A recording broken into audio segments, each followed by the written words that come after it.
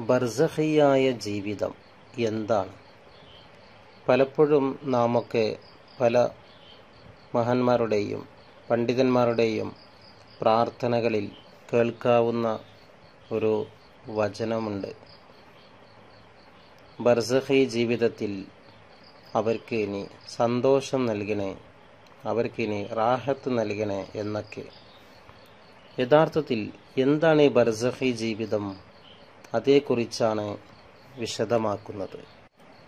ഇഹലോക ജീവിതത്തിനും പരലോക ജീവിതത്തിനും ഇടയിലുള്ള കാലഘട്ടം കഴിച്ചുകൂട്ടാനുള്ളതും സാധാരണക്കാരുടെ ദൃഷ്ടിക്ക് ഗോചരമല്ലാത്തതുമായ ഒരു ലോകമാണ് ആലം ബർസഖ് ബർസഫിയായ ലോകം.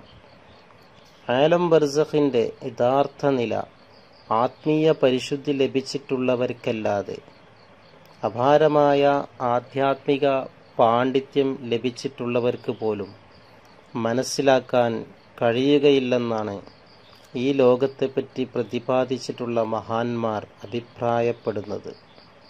സാധാരണക്കാരായ പണ്ഡിതന്മാർ ഇങ്ങനെയുള്ള ഒരു ലോകത്തിൽ വിശ്വസിക്കാതിരിക്കുന്നതിനും നിഷേധിക്കുന്നതിനും അവരുടെ അജ്ഞത ഹേതുവായിട്ടുണ്ടെന്ന് കൂടി പ്രസ്തുത മഹാന്മാർ പറയുന്നുണ്ട്.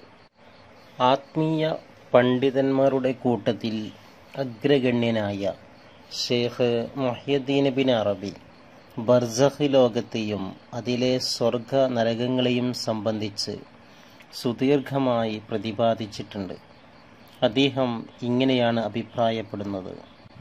അള്ളാഹു താല അവന്റെ കാരുണ്യത്താൽ ലോകത്തെ മൂന്ന് വിഭാഗമാക്കിയിരിക്കുന്നു. ഒന്ന് ഇഹലോകം രണ്ട് പരലോകം. മൂന്ന് ഇഹലോക പരലോകങ്ങൾക്ക് മധ്യയുള്ള ബർസഹ് ലോകം. ഈ മൂന്ന് ലോകങ്ങൾക്കും യഥാക്രമം ആലം മുൽഖ് ആലം മലക്കൂത്ത് ആലം ജബറൂത്ത് എന്നീ പേരുകളുമുണ്ട്. മനുഷ്യ സൃഷ്ടിയിൽ ഈ മൂന്ന് ലോകങ്ങളിൽ നിന്നുള്ള അംശങ്ങളും ഉൾപ്പെട്ടിരിക്കുന്നു. മനുഷ്യന്റെ ദേഹം ഈ ലോകത്തു നിന്നും ദേഹിയെ അഥവാ നെഫ്സിനെ മലക്കൂത്ത് ലോകത്തു നിന്നും ആത്മാവിനെ ജബറൂത്തിൽ നിന്നും സൃഷ്ടിച്ചിരിക്കുന്നു. മനുഷ്യ ശരീരം ഇഹലോക വസ്തുക്കളിൽ നിന്നായതിനാൽ അത് ഇഹലോക വസ്തുക്കളുമായി ബന്ധപ്പെട്ടിരിക്കുന്നതാണ്.